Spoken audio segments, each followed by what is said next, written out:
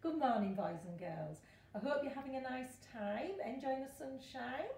Uh, I've got another book for you today, and it's The Three Billy Goats Gruff. Got one, two, three billy goats. This is the tale of three billy goats gruff. One grey one, one brown one and one white. They lived in a field and they loved to eat grass from daybreak till last thing at night. They had grass for their breakfast and grass for their lunch, and for tea they had more of the stuff. Soon there wasn't a lot of grass left in their field. Let's move on, said the billy goats gruff. We've got a lovely tent here with lots of lovely things in there. Now over the stream they could see a fine meadow, as lush and as green as can be. Time, said the youngest, to cross the red bridge, and his brothers just had to agree. What brave billy goats, for each of them knew that under the bridge in a shack lived a terrible troll who kept watch all the time, and his goat was his favourite snack. Oh dear.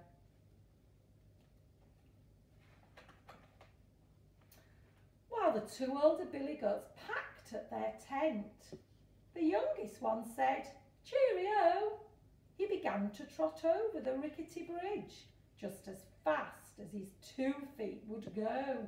Looks a little bit worried, I think. But he hadn't got further than halfway across when a voice shouted out, Not so fast! And onto the bridge leapt the horrible troll, and he grunted, You're not getting past. Looks a bit fierce, not a very nice character. The troll licked his lips, then he said with a grin, I fancy goat pie for my tea.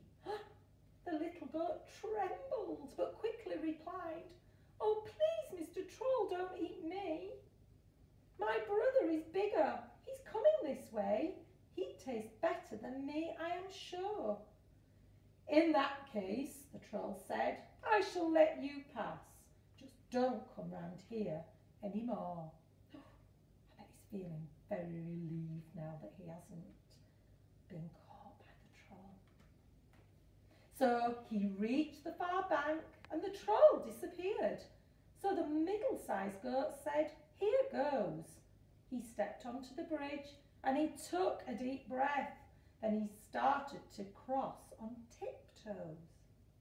But the troll had good ears, so he heard the bridge creak and he jumped up and stood in the way. Oh, he chuckled with glee when he saw the goat there and roared, Boy, am I hungry today. Ooh, I wonder how the middle-sized goat's feeling now. Oh, please let me cross, said the middle-sized goat. But the troll only snapped, what's your hurry? With some herbs and some spices, and served up with rice, you would make a delicious goat curry. Oh. My brother's much bigger. He'll be along soon, said the goat, and he'd make a huge meal. So spare me and think up a way to cook him. And the greedy troll said, it's a deal.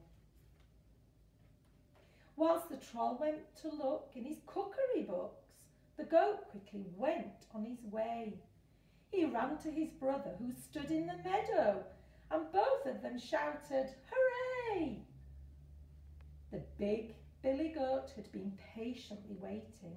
Now his turn had finally come. He strode onto the bridge, but the horrible troll popped back up with a cry of yum yum. I think he's looking forward to eating him. The troll fixed his eye on the huge shaggy goat. His mouth watered. He said, Ooh, what a prize! I'm glad that I waited because very now, soon now, I'll be eating up burger and fries. That looks a very large meal. The goat stared right back at the horrible troll. You're a rude, nasty fellow, he said, and I really don't want to be dish of the day. Let me teach you a lesson instead. Wonder what he's going to do. He lowered his horns and he charged straight ahead and ran into the troll with a crash. The troll lost his balance, fell right off the bridge and plunged into the stream with a splash. Goodness me, I hope he can swim. As the horrible troll bobbed about in the water, he spluttered, I know when I'm beaten. And the billy goats laughed and began tucking into the sweetest grass they had ever eaten. Look how happy they look at the end. I wonder why. Bye for now. See you again soon.